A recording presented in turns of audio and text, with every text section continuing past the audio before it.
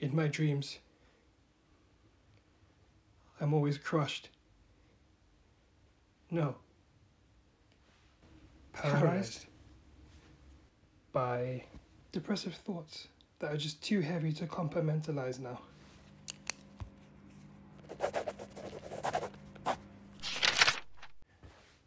What form does this paralysis take? A bookcase? It even chants at me.